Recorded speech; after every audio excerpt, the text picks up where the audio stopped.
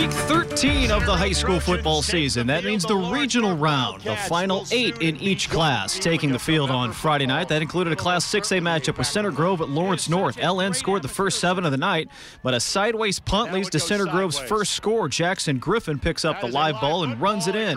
CG went for two and took the 8 7 lead.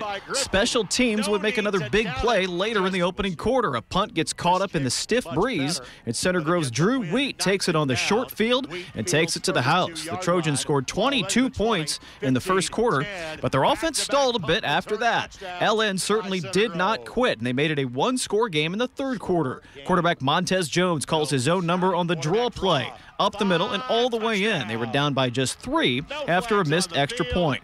But Center Grove able to get it done in the end. Their big defender, Caden Curry, getting the ball to rumble in as a fullback. He scored that two pointer early, and this one for six helped seal the deal. A 26th straight win for Center Grove. They go back to the semi state with a 29 19 win. CG gets Ben Davis next week, beating 32 14 over Brownsburg tonight. That'll be a rematch of the 2020 6A semi state. Roncalli looking to add to their perfect season as the 12 0 Royals make a stop in Mount Vernon to clash with the 11 1 Marauders. First quarter opening drive, Roncalli's Tyson Garrett plows into the backfield, accepts the pitch, and it's Royals ball. A few plays later, Royals Luke Hansen takes it in, 7 0 Roncalli. But Mount Vernon would fight right back. Here they put together a 67 yard drive, ending with Trayvon Hagler as he would find the end zone to tie this game at seven.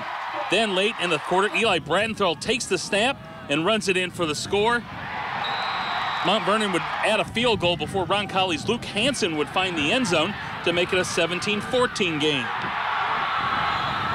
Mount Vernon would tack on another score here in the third quarter. Then a 38-yard field goal would put them up 27 to 14. But the Royals weren't done. Here they had a late score by Aiden Leffler to cut the lead to 27-21. But then it was Mount Vernon controlling the clock from there. They would go on to beat Roncalli tonight 27-21. Oh, it's an amazing win. I can barely even speak right now. Like I'm just so caught up in emotions, and we've always been dreaming this high. And I mean, you can always tell the energy around here is amazing.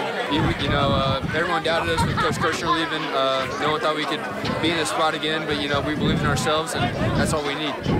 Two semi. stop!